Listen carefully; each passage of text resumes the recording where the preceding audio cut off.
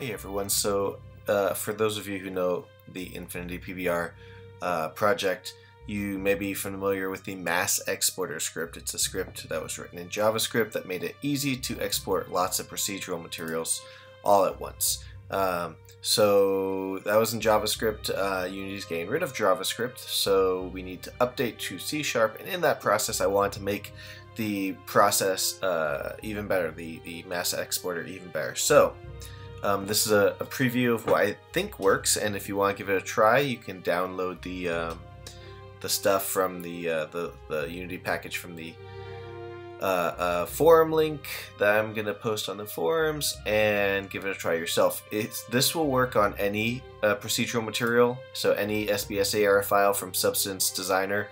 Um, not just mine. It can work on all of them, and it, it, does a really good job. I think it's a it's a great improvement from the last one. So the first thing we can do, go Window SFA Studios, uh, export textures, and we're going to say load texture export window. All right, and so this is what the window looks like. It will give you instructions as you go along. So the first thing is you need a export object. Now I could go and select any of these I have already created but instead I'm going to create a new one for you. So we're going to go up to here again to the Space Studios, export textures, create export object. It's going to load it right here already. It's going to be a scriptable object and it's just going to be called 3. I'm going to call this demo object and this is what I'll include with the package. And so you, you might name this, uh, you know, dungeon export or dragon or whatever because uh, whatever you say keep here can be saved so you can run it over and over and over again. That's what I'm going to be using for my demo scenes and the uh, texture creation scenes as I update all the packages very very slowly over time because there's a lot of packages. Um, so once you have that you can choose whether to set the normal map mode and that means whenever a normal map is created it will set the mode to normal map. That way it looks correct in the scene uh, if if you're going to only export textures for use with uh, perhaps my other materials where the normal map should not be in normal map mode, then just deselect that. Most of the time you're going to have that selected. Uh, and then also we want to create materials. Um, and so we're going with that unselected, you won't get any materials created. With that selected, you'll get materials created. Uh, group name is, is something to keep it organized, so we'll call this dungeon demo. Um, and everything we export will be under that group name. Um, if we export multiple materials of the same type, uh, they'll have a numerical um, number, a number added at, at, the end, and and so uh, the, the, group name is important for that as well. Uh, so next, we're gonna need to add a procedural material. There's a few ways to add this. Um, first, we could just drag it in here. So I can go to the archways here. I can just drag one in. Actually, for this one, I'm going to have to drag in the material itself, uh, and you'll see it add there. Um, we can remove it as well. Uh, another way to do it is to select the Substance Archive. That's the rectangular icon there. And uh, you can go up to the uh, window, SFA Studios, include selected materials. There's also a hotkey for that, so I'm going to select that there. And it'll load all of the uh, materials under that. Um, but you can also just select the material and hit the uh, hotkey. Wait for that to load. Hit the hotkey and it'll load up there. Uh, and finally, uh, if you've got a bunch, you can actually select a bunch of different things and hit the hotkey and load them all, um, whether they're uh, uh, archives or materials that all load now, which is pretty cool. Uh, one warning you'll see here, if not all of them have generate all outputs, selected, then uh, you're going to get that warning here. So let's start with just the alcove. Uh, if you check out once you've got a, uh, a, material there, you can see these two drop downs. This first one is the texture outputs. These are the outputs that we're going to be saving.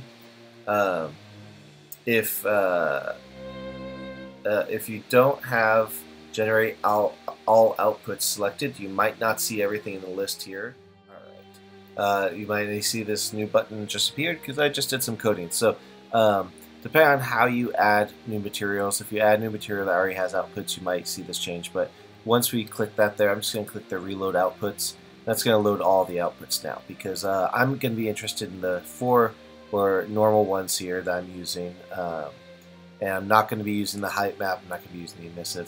But I do want this metal AO height rough, which is a new map that I've created for a uh, vertex shader that I'm making. So uh, I definitely need to keep that file as well, which is why the generate outputs is, is important. Finally, this last section, um, let me close these down. This last section is reusing textures. A lot of times, especially for characters, if you want to make a lot of different colors of the same character, but you want to share the map, so the normal map, the metal roughness, those things don't always change. If none of those change and you're only changing the color of the character, you want to reuse the textures. And so the first uh, texture you create will have all the maps because it's the first one. And if you've got these checked, then subsequent uh, textures, if it can find these maps on the first texture in the export list, uh, it will reuse them. So you'll see that in a, in a second because we're going to keep those checked. Um, and uh, then you just click the export textures button. It takes a little bit per material to export to save the files, then import them into Unity. And once you see that, you'll find them in the export materials. This is the same folder as before um, with the group name, whatever you called that. And underneath that, you'll find your material and all your textures. So if we look at the textures, we'll see the albedo in all the, this is the special texture, uh, and all the textures. And then if we click on the material, you'll see all these are now set properly. The emission, if there is no emission, this will be set to uh, black. It's a new thing as well that wasn't set properly before. Um, and so we've got the texture that's ready to be used in your game uh, from your SBSAR file. So that's cool. Let's add a little bit more though. Um, one other way you can add things if you just open this up, uh, as long as you just click all the ones you want to add. So we'll just add three more. Uh, this gets deleted every time it gets a new one add. Now again, we're missing one of the outputs here, so if we don't have this checked, then uh, even though we have texture outputs here for metal AO height rough, the special map, if this isn't checked, then this material will not get that uh, will not get that texture uh, output because um, uh, although it's inside the SBSAR file, if it's not being processed by the file, then it won't exist and it won't be there. It won't be available to save. So you are, you're going to want to make sure those are all set. And there's that one button that'll uh, check it all, all of the materials for you at once. Um, Alright, so again, we're going to keep the texture outputs the same. We're going to be reusing the textures, and let's export those and wait just a minute while it does all four materials.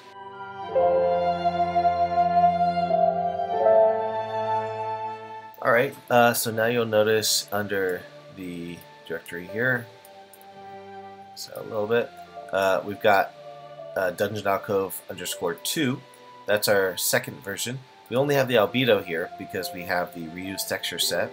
Uh, and so when we go to that material, we'll see the albedo correctly and we'll see that we're reusing the other maps from the first export. And the other ones all have the proper maps and they're all set up in their uh, materials as well. So again, we can just, it's the same right there. So um, hopefully if you've used the mass export before, you've probably liked that it makes exporting things fast. This should help out even more. Um, I think it's it's it's more versatile for sure. I think it's it's definitely cleaner. The code is a lot cleaner, and it's all commented as well. Um, so you can check that out if you want to. Um, and one bug that existed when you were trying to build projects and, and the SBR, SAR files would cause issues, cause issues apparently Substance Archive if it's anywhere in your code that's not in the editor folder, it causes an issue with builds. So this that bug will be solved by this as well. So um, let me know what you think, and uh, this will be coming into all of the packages over time.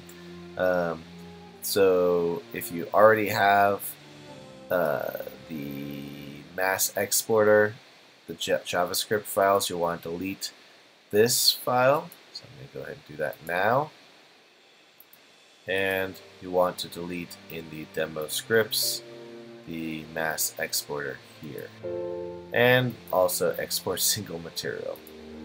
If you have any of these very old versions, delete those as well. And these old versions, delete those as well.